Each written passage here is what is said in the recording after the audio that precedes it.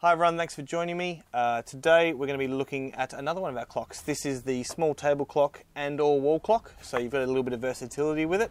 Uh, we're going to go ahead and open the box and I'm going to show you what comes included with it. So let's get right into it. In the box we have uh, some PC software again, just in case you have a PC and not a phone or a tablet. Um, the phone and tablet software is far easier to use though, so do bear that in mind. Uh, we also have our quick start guide, our user manual, our little white box of accessories. So in here we've got our uh, USB charge cable again. We've also got our uh, uh, wall hanger for the clock, a reset tool, and a micro SD card adapter, USB adapter. The most important thing in here, as always, is the clock uh, all padded nicely and uh, ready for your usage. So that's what comes included with the little uh, table clock here.